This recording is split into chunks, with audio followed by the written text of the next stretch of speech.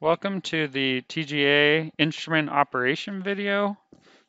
We're going to demo how to use the TGA to run two different samples today. One of them being uh, gypsum powder and the other being an unknown, which is just a uh, metal salt that's hydrated. So we can use the TGA to determine how much hydration this salt has. Um, we're going to go through a few different sections. The first is going to be sample prep, where we're going to weigh out our sample.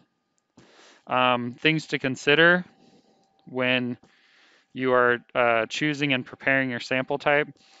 Um, the sample needs to fit into one of these small pans. The pans have a 100 microliter volume. And so you need to make sure that your sample will fit neatly inside the pans without spilling out. We wouldn't want the sample to be able to spill out into the furnace. The typical mass that you're going to use is between 10 and 15 milligrams. So this doesn't really require very much sample at all, which is one of its advantages. The other things to consider are how light or dense your sample is. So if your sample is really uh, really low density, really fluffy or something like that, then you have to worry about it being exposed to the air, the, the gas flow inside the furnace and potentially being blown off.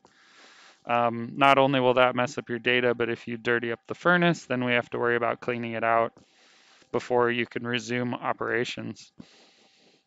You can also run liquids in this, which again, you just has to be able to fit within the volume of the pan. Um, things that you cannot run on here without special consideration are metal containing compounds. If it contains metal, we will do use a special procedure where we um, put a coating of aluminum oxide powder in the bottom of the pan to prevent the metal from alloying. Um, the second section we'll go over is how to set up the instrument how to clean the pans, how to load the pans in the auto sampler, how to tare the pans, and then loading in your sample. And then we'll uh, intermix throughout there, and at the end we'll go over how to operate the software to use the instrument itself. Now we're going to go over massing our samples out. For this, we're simply going to use an analytical balance. We have our two samples here. This is the gypsum powder. And then this one is our unknown, labeled unknown A. Um, we're simply going to use standard weigh paper. And again, we're going to weigh out between 10 and 15 milligrams. Remember that this system itself is a balance. Therefore, you don't actually need to precisely um, weigh out your, your sample mass and like record it because the balance itself will record this for you.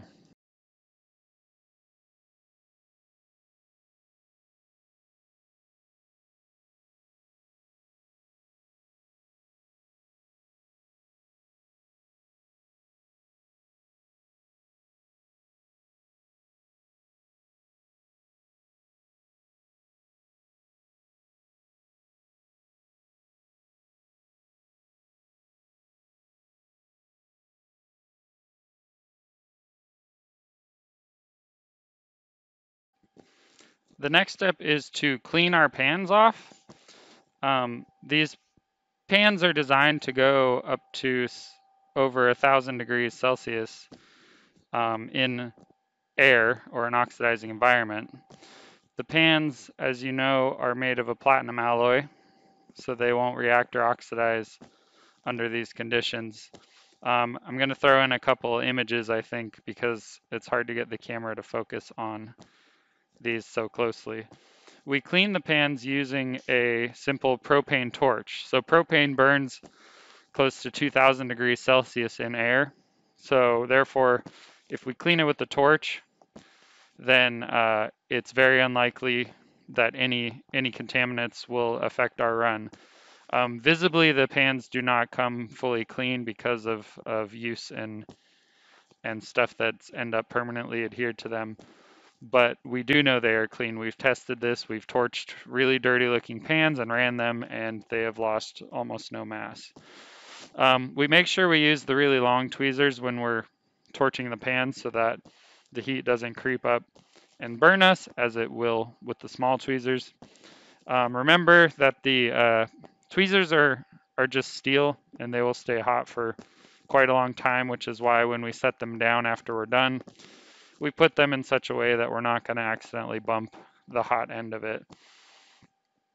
Um, we do use the long tweezers for this, but for any manipulation of the pans, such as placing them in the auto sampler or just moving them around, we're going to use the small tweezers.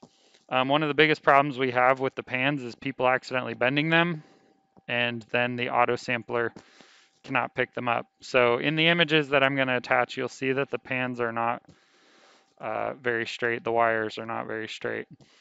Um, but right for now, we're just going to go over cleaning these two pans. Uh, we're going to make sure we grab them by the side of the pan, not the actual pan or the tip. The tip is where the wire, the, the little wire hook actually grabs the pan, so we don't want to mess that up. You want to torch them for a good five seconds or so, making sure that they get red hot. Um, you obviously want to torch it in such a way that you're not going to accidentally burn anything nearby or anyone. Um, try and get this in the shot nicely.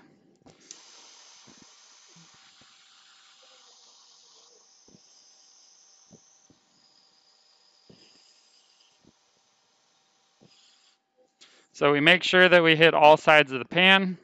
If you see stuff burning off, make sure you go like five more seconds past that. The pan cools down very rapidly. It's probably nearly at room temperature by now, so we can set that down. But remember that the tweezers will remain quite hot. Torch the second pan.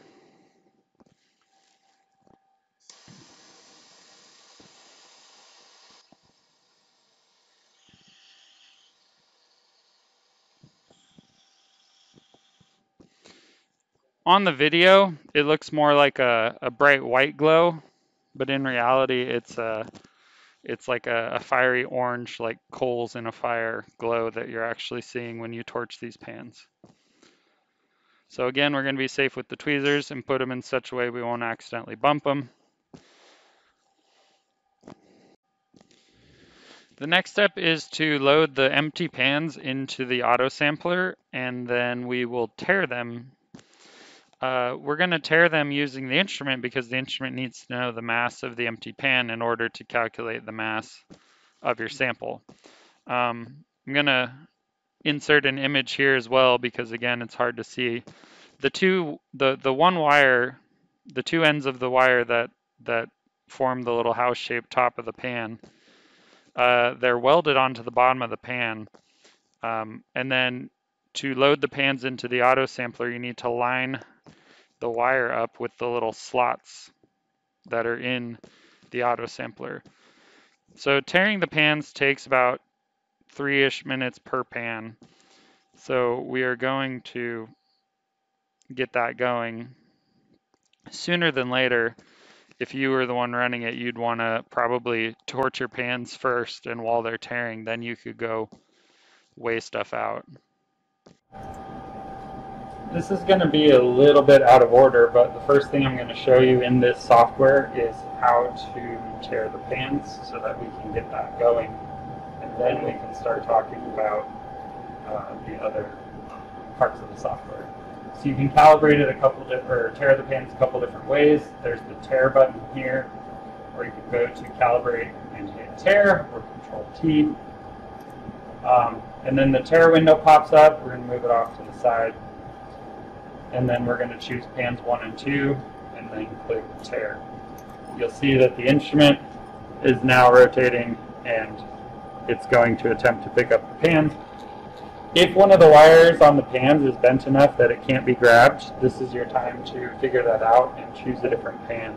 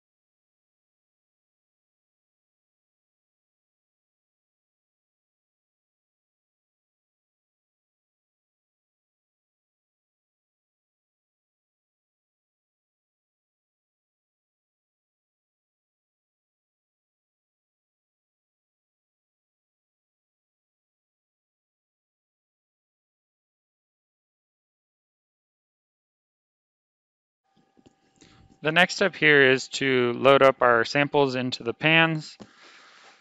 I know it seems silly, but I want to remind you that once the pans have been tared to their respective positions, they need to remain those pans. So pan one needs to remain pan one as the mass was recorded in that location. Um, the a helpful thing here is to add in uh, is to use some weigh paper to ensure that if you spill, you can recover your sample. So for pan one, um, we've creased the paper here to help us funnel it. And so for pan one, we're simply going to use this to uh, get our sample deposited.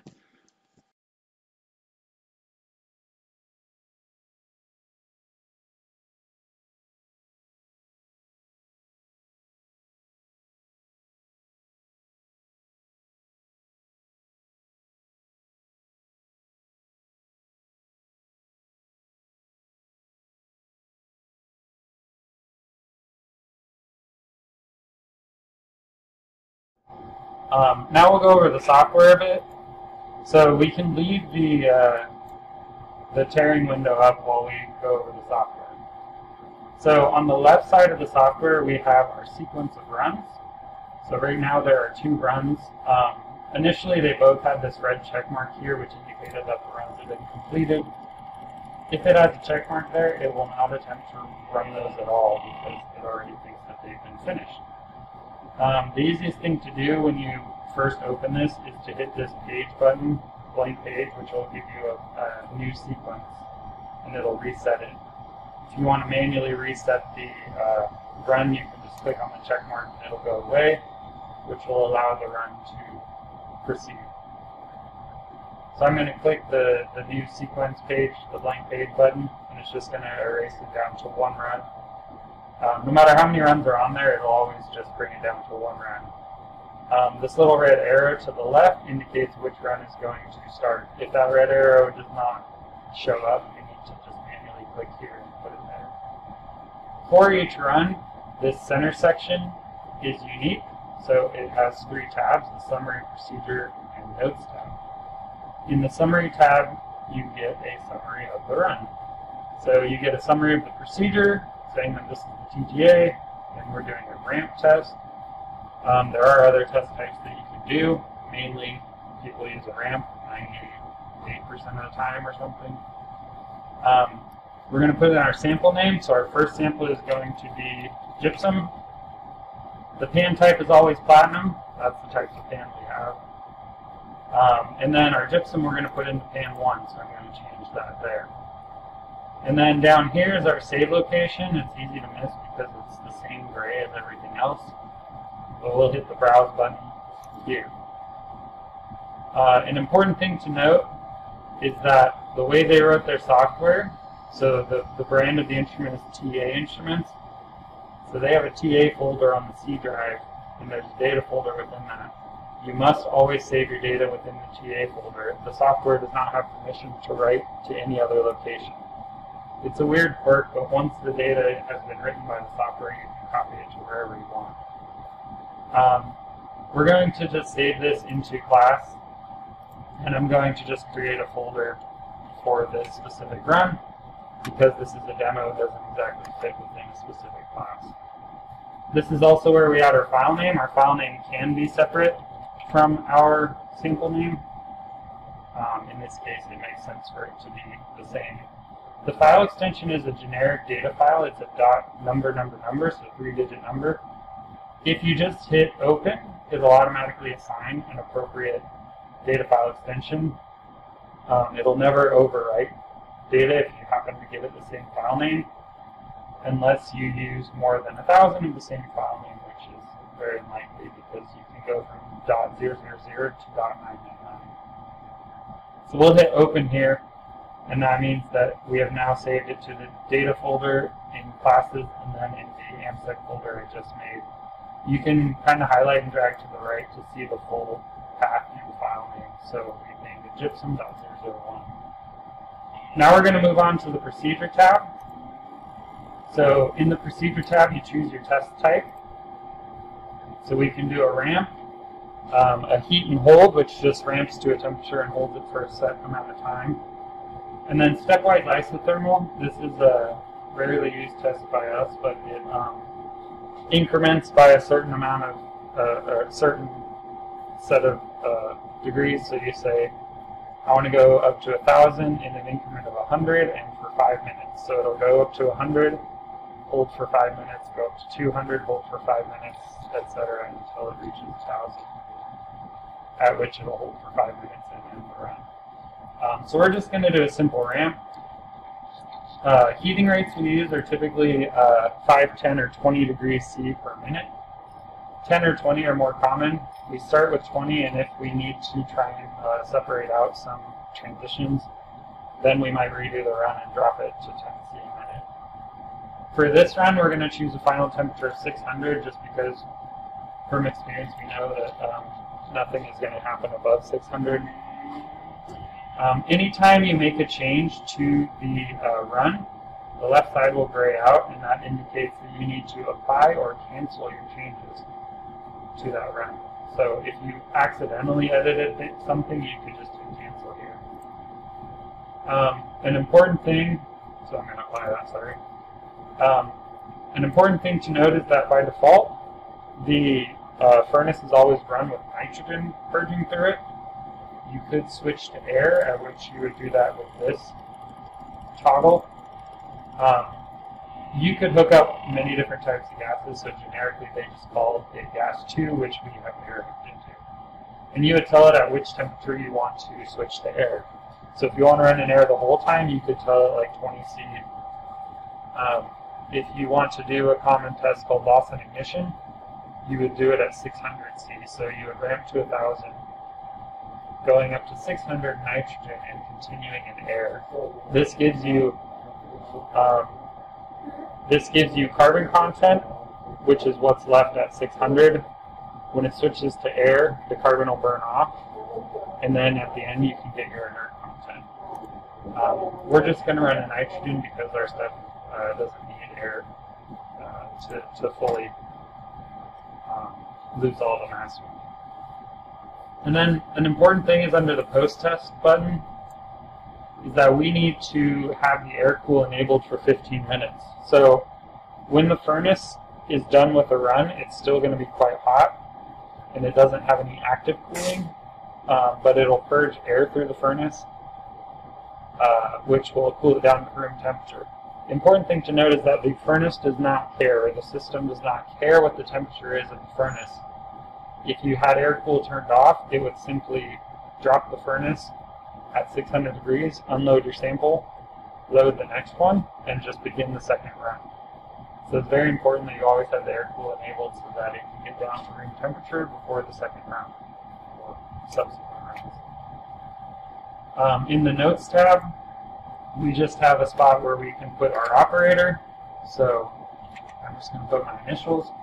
It is possible to switch to air in this fashion, but that is not recommended because that's not how we teach people to do it, and therefore um, you'll mess people up.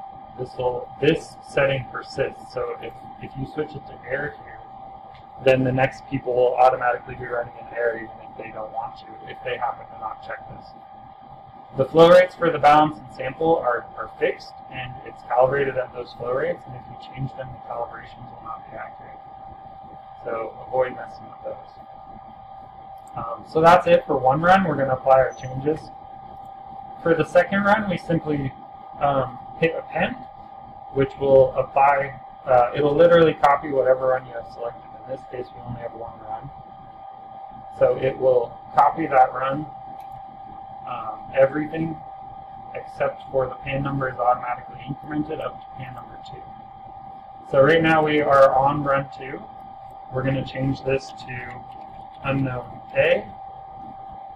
Um, pan 2 is correct, and then we're going to hit the browse button and change our file name to unknown A. Hit open, and now we can confirm that it is in fact changed. We're going to use the same procedure, so it's handy that it copied it for us, and the notes are all the same too. So that's how we set up the um, that's how we set up the software here. a couple things to note here are that if the uh, run fails for whatever reason, usually you'll get an error that pops up, but you also have a check mark that has an X through it, um, and that indicates that the run has failed. You can go to View and hit the instrument log, and it'll change the view to show you what has been happening, and you could determine maybe if a pan failed, uh, a pan tare failed, or something like that. Uh, it would also give you what error had popped up if you happen to not be here when the error popped up for a failed run or some other possible error. Um, so the pan 2 just finished taring. It gives you the uh, mass of the pan, at least according to the instrument. It's all relative because um, because it can technically have a negative mass even though that doesn't exist. It's just the position of the balance. So that's all it needs to know. Um, we're going to hit close at the bottom right and we'll get out of the instrument log. Now that uh, we've loaded up our pans, so we've weighed our sample, cleaned our pans, tared our pans, and loaded them with sample. Um, we've also set up our two different runs in the software. You can imagine that we would just keep appending runs up to our maximum of 16 that the auto sampler can hold. Um, we're ready to start our run, so we're going to hit play up here. It's going to start the run. If at any time we need to stop it, we just hit the stop red stop button here. We're going to do a time lapse now. This run takes about a half an hour, um, not including air cooling. Air cooling is an additional 15 minutes. But we'll record the whole thing and do a time lapse so you can see what that looks like. So we're not going to show it, but the pan's going to load up. You've seen this a couple times already. Um, it's going to load up, the furnace is going to rise up and seal, and then it's going to